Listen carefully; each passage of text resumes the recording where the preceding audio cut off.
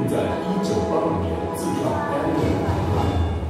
凭借着强化设备与流程管理，成功地打入日本与欧洲市场，将 Element 推向世界舞台。禁止高效率的自动化制造流程，从原料经由尖端电脑进行调配，导入压铸成型机后，高温软化塑料。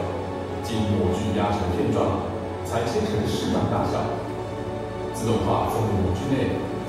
进行二次加温，再经由真空吸塑机，外壳瞬间成型。一路五轴自动切割机，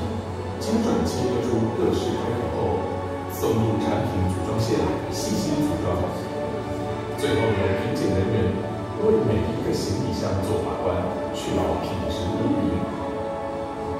自己是。站在消费者的角。